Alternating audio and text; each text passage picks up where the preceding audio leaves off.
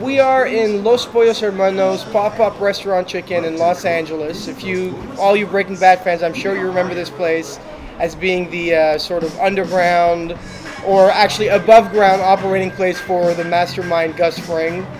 Thank you guys so much. Oh, you know what we should do? The back to back.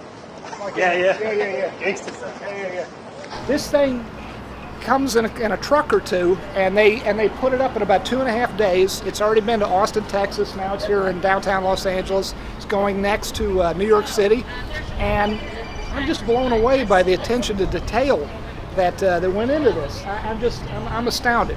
And we're having a blast. We've got a huge lineup outside, and um, I don't know if you can see this. We've got them curly fly, fries too.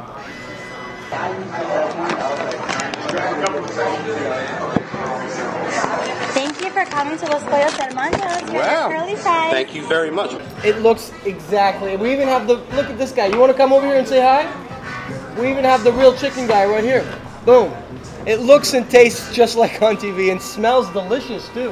When I walk in here into the pop-up restaurant, I feel like I'm in Albuquerque. I feel like I've been teleported, like on Star Trek. I I think uh, it's a wonderful thing, uh, a wonderful way for the fans to get to to get to experience what a Pollos Hermanos would be like uh, if they can't make it to Albuquerque. And I'm just I'm so happy uh, that uh, that AMC put this together. It's just a blast, you know. It's um, a real blessing to be here, and you guys are really the most wonderful fans that anyone can dream of. So thank you for watching.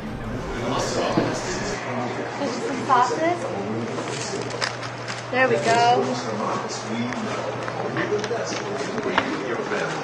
What this family tastes like in your heart, you know it's the best ingredients. The spiciest spices, all prepared with love and care, and always delivered with a friendly smile. That's the most